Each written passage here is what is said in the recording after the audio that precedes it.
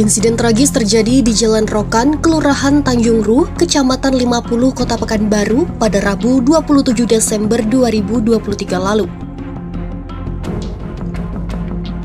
Satu orang tewas dan satu lainnya masih dalam kondisi kritis setelah menjadi korban jambret. Dari keterangan Kombes Pol Asep Darmawan, Direktur Reserse Kriminal Umum Polda Riau, Pihaknya berhasil mengamankan pelaku TS alias Ial 43 tahun yang juga merupakan residivis pada Jumat 29 Desember 2023 di Jalan Nelayan, Kecamatan Rumbai. Pelaku terpaksa dilumpuhkan karena mencoba melawan saat akan ditangkap, sedangkan rekan pelaku inisial S melarikan diri dan masuk dalam DPO. TS menjambret tas korban bernama Siswati 61 tahun yang sedang berkendara. Korban mengalami luka robek di kepala dan meninggal dunia, sementara pengemudi motor Lia Prahesti 25 tahun mengalami luka pada kaki dan dirawat di rumah sakit. Aksi jambret ini terjadi secara mendadak ketika tas korban ditarik oleh kedua pelaku.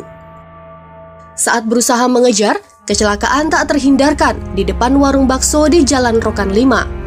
Akibatnya, korban Lia Prahesti tak dapat mengendalikan kendaraannya dan menyebabkan Siswati meninggal dunia.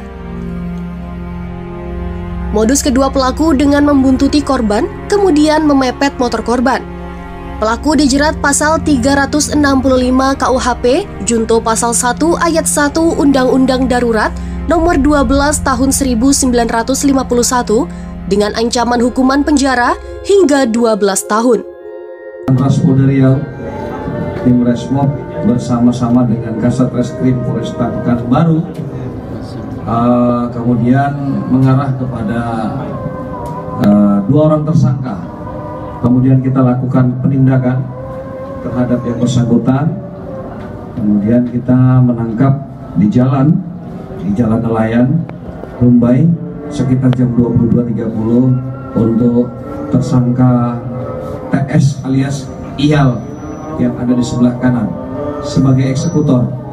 Dan yang bersangkutan juga merupakan uh, residivis. Karena pernah melakukan kejahatan lainnya. Sedangkan satu lagi sebagai uh, joki adalah uh, pengemudi motor atas nama S yang sampai saat ini masih buron masih kita kejar Mudah-mudahan tidak terlalu lama kita segera bisa melakukan penangkapan.